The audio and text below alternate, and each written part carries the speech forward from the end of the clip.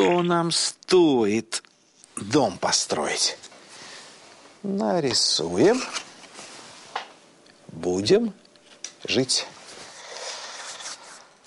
Ну, наконец-то и вы, мои любознательные друзья. Здравствуйте. Гадайте уж, не впал ли в детство ваш друг профессор. Не беспокойтесь, не впал.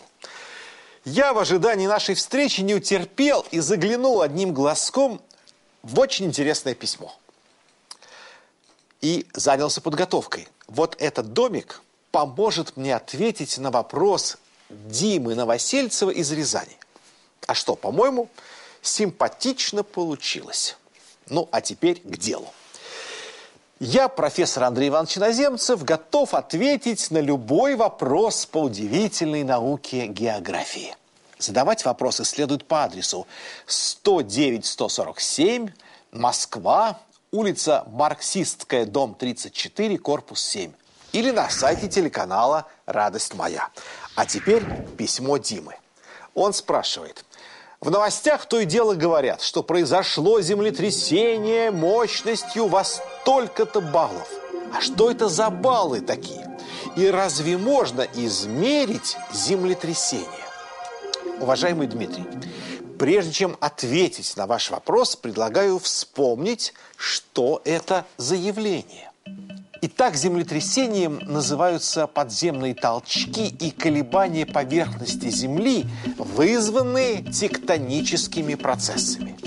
Землетрясение по своей сути – переход энергии, накопленной в сжимаемых или сдвигаемых горных породах в энергию колебаний пород, то есть в сейсмические волны. Происходит это приблизительно так –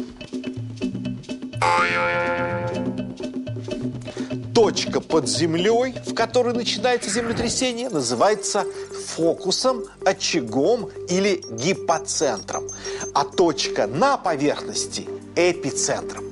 Представим, что в руках у меня не вода, а горные породы. Устраиваем небольшое землетрясение и смотрим. Видите? Волны от удара – вот так же расходятся и сейсмические волны, но, естественно, в Земле. И чем дальше от очага землетрясения, тем слабее становятся волны. А теперь, Дмитрий, приступаю, собственно, к ответу на ваш вопрос. Мой дорогой друг, вы совершенно правы. Землетрясение нельзя измерить. Его можно только характеризовать. По шкале магнитуд – шкале Рихтера. Или по более современной шкале интенсивности. О методе Рихтера поговорим в другой раз. Рассмотрим землетрясение по шкале интенсивности, то есть по силе воздействия на поверхность Земли. Землетрясение в один балл не ощущается человеком. Очень слабые толчки в 2 балла чувствуют только животные, например, кошки – а вот слабое землетрясение в 3 балла уже воспринимается людьми. Но как?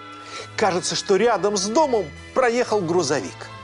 При умеренном землетрясении в 4 балла требезжат оконные стекла и колеблются предметы. Землетрясение в 5 баллов называется довольно сильным. Стрясаются дома, останавливаются маятники часов, появляются трещины в штукатурке. При сильном в 6 баллов землетрясении со стен падают картины, отваливаются куски штукатурки, люди в панике выбегают на улицу. Семибальное землетрясение считается очень сильным. И неудивительно, при нем в стенах домов появляются трещины. Восьмибальное землетрясение разрушительное. Появляются трещины на крутых склонах, опрокидываются памятники, повреждаются дома.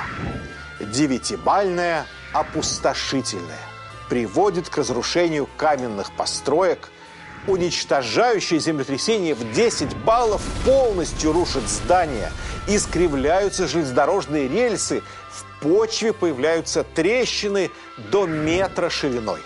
Землетрясение в 11 баллов – это катастрофа.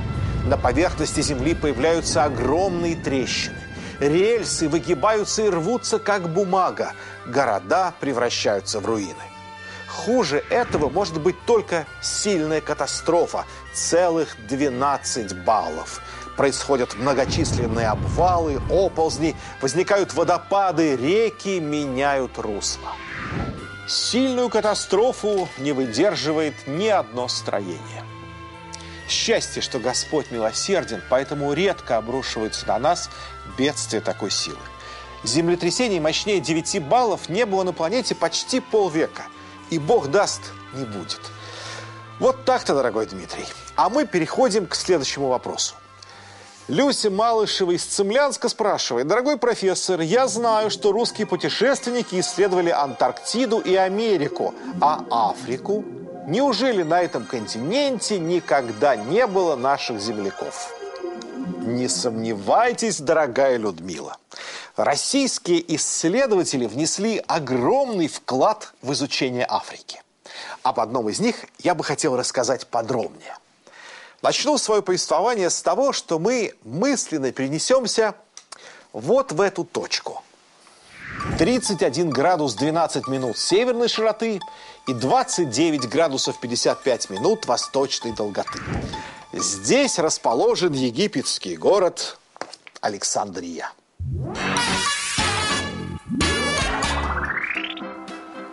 Именно на камне Александрийской пристани в октябрьский день 1875 года ступила нога Василия Васильевича Юнкера.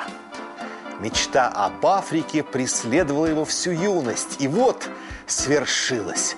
С каким интересом он вглядывался в узкие улочки города, с каким наслаждением дышал жарким воздухом пустыни. Из Александрии Юнкер направился в Судан – так началось его первое путешествие по Африке. Он еще дважды приезжал на Черный континент и побывал в самых диких местах.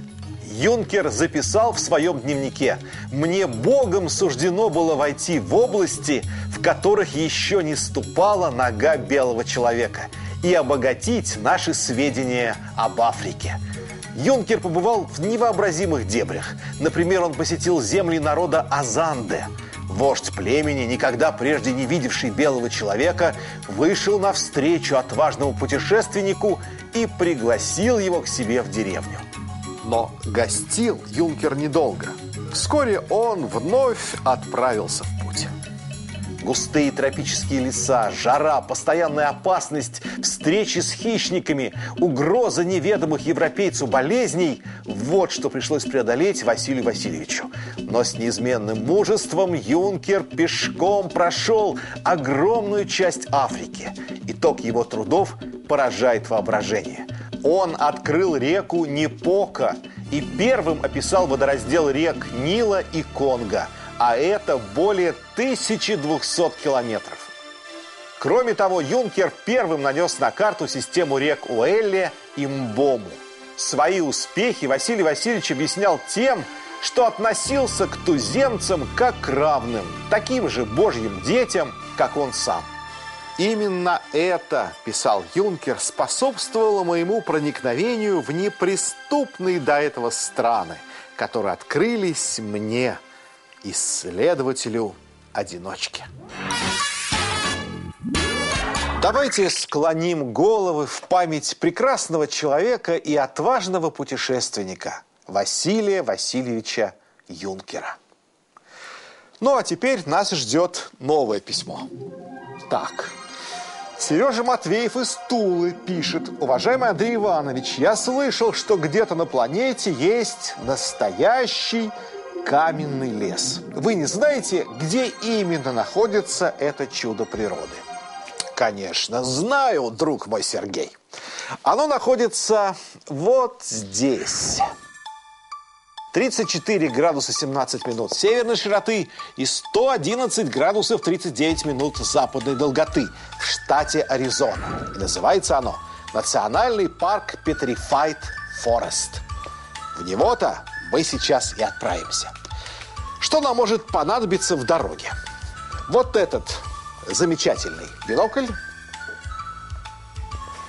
головной убор и с Богом.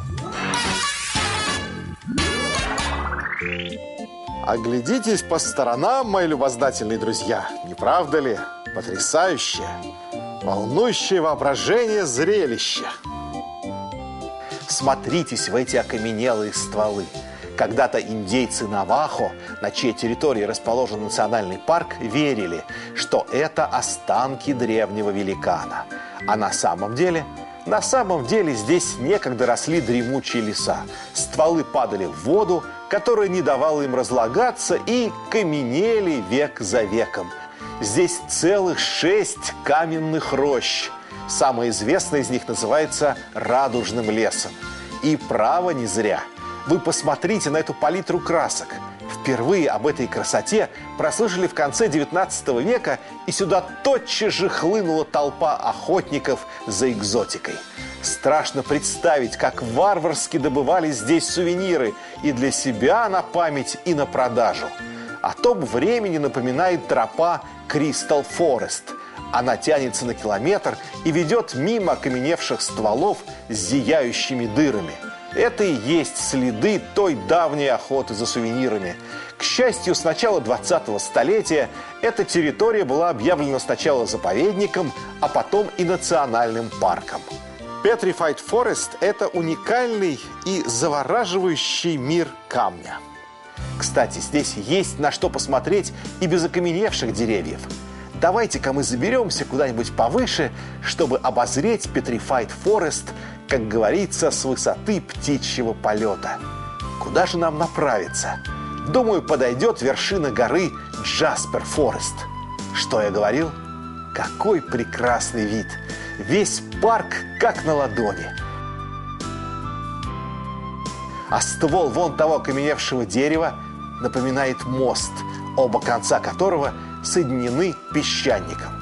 Несколько лет назад ему грозило полное разрушение, но люди успели спасти это чудо природы и укрепили мост с помощью бетона. В Petrified Forest мы обязательно вернемся. А пока в Москву. В Москву.